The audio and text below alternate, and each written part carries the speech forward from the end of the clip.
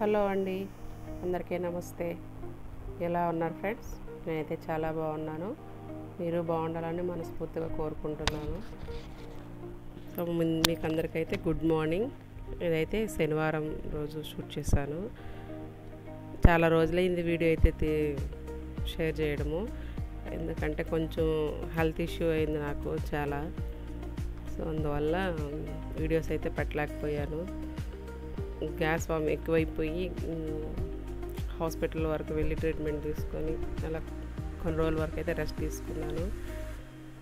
So ఇదైతే శనివారం రోజు లాగు సో ఆ రోజైతే మార్నింగ్ ఇంకా దర్శి దర్శి వండుకొని ఇంకా నాకు చపాతీ చేయి మమ్మీ అనేసి అడుగుతూనే ఉంటాడు ప్రతిసారి పాపము. మన ఇంట్లో తెలిసిందే కదా దోశ ఇడ్లీ ఉంటాయి ఎక్కువ. ఎందుకో మరి ఆ రోజు స్పెషల్గా నాకు చపాతీ కావాలి మమ్మీ అనేసి ముందు రోజే స్కూల్ నుంచి రాగానే చెప్పాడు. సో అడుగుతున్నాడు కదా అనేసి సరే అని చేద్దామని ఇంకా ఆ రోజైతే చపాతీకి ప్రిపేర్ చేశాను. నాకైతే ఈ మిక్సర్ గ్రైండర్ అయితే చాలా యూస్ అవుతుంది. ఎందుకంటే పి- పిండి మామూలుగా కలుపుతుంటాం కదా అలా కాకుండా ఇలా ఒకసారి ఇలా గ్రైండర్లో వేసేసి సాల్ట్ వేసేసుకున్నామనుకో కొద్ది కొద్దిగా వాటర్ వేసుకుంటా ఉంటే పిండి చక్కగా అది కలుపుతుంది చాలా బాగుంది. విత్ ఇన్ సెకండ్లకు అంతా అయిపోతుంది అందుకనే చేయాల్సి వచ్చింది. మనం చేతితో కలిపి చే- కాసేపు నానబెట్టాలి కదా స- బాగా ఎంతసేపు అలా ఉంటే కలిపి పెట్టేసుకుంటే అంత సాఫ్ట్గా మెత్తగా అలా బాగా వస్తుంది కదా చపాతి. ఆ టైంలో శనివారం అయితే ఇంకా మనకు వీలుండదు. ఓన్లీ సండే అయితే ఇంకా చేయగలుగుతాము. వాడు శనివారం అడిగేసరికి ఇంకా సరే కాదనలేక పిల్లలు అడిగింది చేసి పెట్టడమే కదా మనకి. ఓకే. అందుకనేసి ఇంకా గ్రైండర్కి వేసేసాను. అలాగే అక్కడి నుంచి తీసిన పిండిని కాస్త ఆయిల్ వేసి బాగా కలిపి ఇంకా మూత పెట్టేశాను. ఒక హాఫ్ అన్ అవర్ దాకా అలానే వదిలేద్దామనేసి వదిలేశాను. ఇక్కడైతే ఇంకా ముందు రోజు నైట్ అంతా నీట్గా కడిగి పెట్టేసుకున్నాను అండ్లన్నీ. సో అవన్నీ అయితే ఇంకా స్టాండ్లో పెట్టేసుకుంటున్నాను వాటిని. మా ఆయన అయితే బయట వెళ్ళి ఉన్నారు పిల్లలు తీసుకొని. ఆ రోజు త్వరగా లేచేసారు పిల్లలు అయితే ఇంక నా పనులు కూడా ముందు రోజు అన్నీ అయిపోయినాయి కాబట్టి నాకు ఈజీ అయ్యింది పని అంతా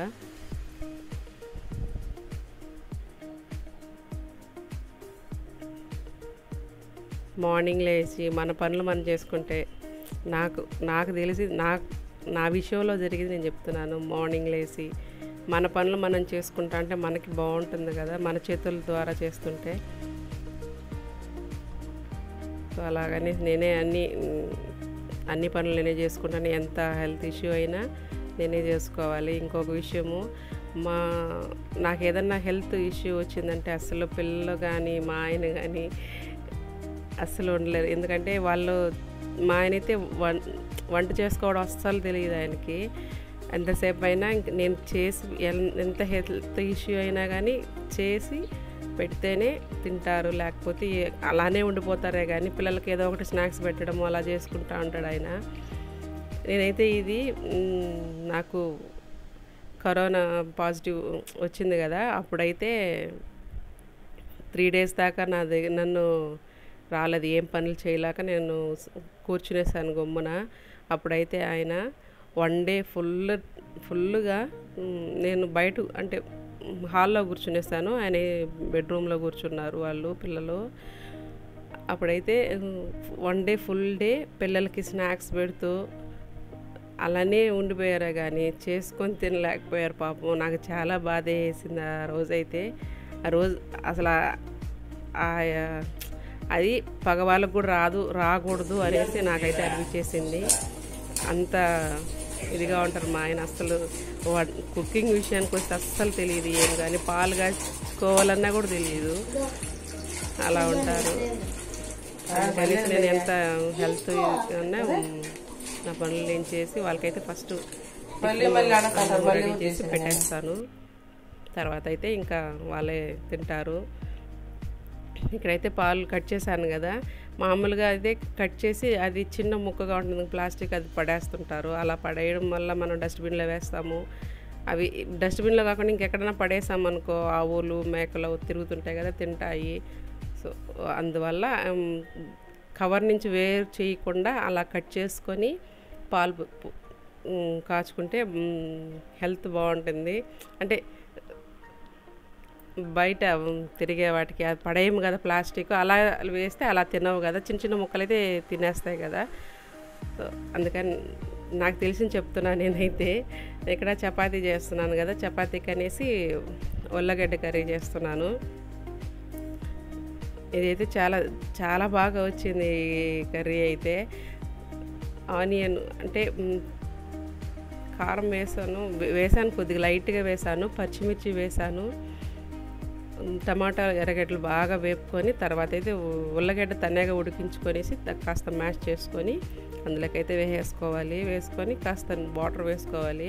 నేనైతే ఫ్రై చేద్దాం అనుకున్న. ఫ్రై చేసి ఇలా చపాతీలో పెట్టి రోల్ చేసి ఇవ్వాలనుకుంటే దర్శిత్ నాకు వద్దు అలా అనేసి అన్నాడు. సరే అనేసి ఇంకా కాస్త వాటర్ కర్రీ లాగా చేస్తాను తింటారు కదా అనేసి చేసి చపాతీ అయితే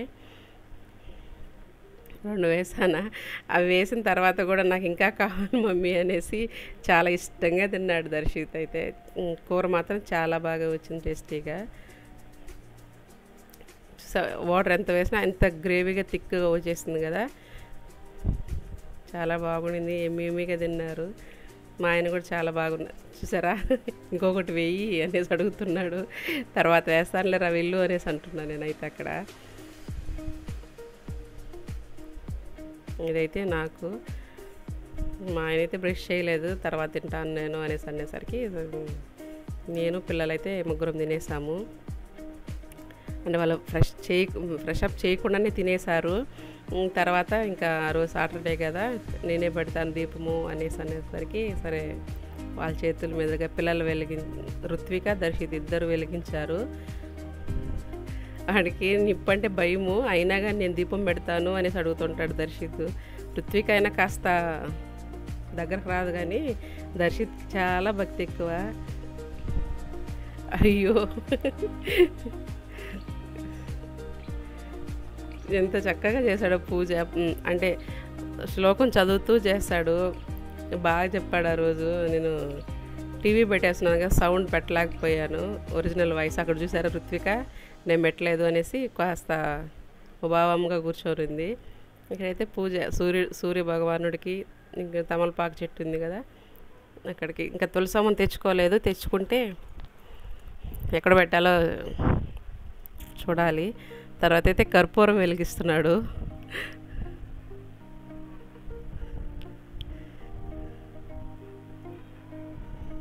చేయి కాలిందని కాస్త విసుక్కున్నాడు. ఎంత చక్కగా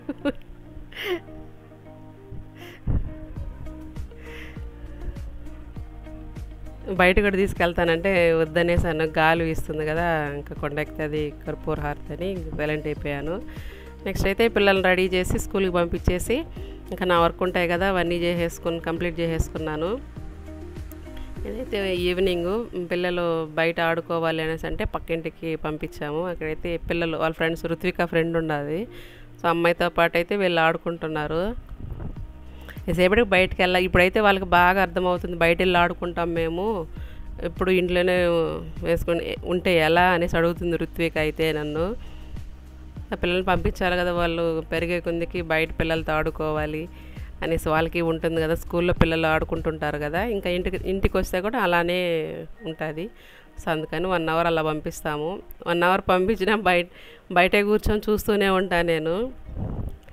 నెక్స్ట్ అయితే ఇక్కడ మా ఆయన రోజు ఈవినింగ్ అంటే నైట్ ఎయిట్ థర్టీ అలా అవుతుంది. ఇంకా డ్యూటీ నుంచి వచ్చేసారు కదా బయట లైట్ కొంచెం వెలగట్లే వెలగకుండా ఉంటే అందుకనేసి మా ఆయన అయితే బల్బు తెచ్చి ఇంకా ఆయనే బిగిస్తున్నారు.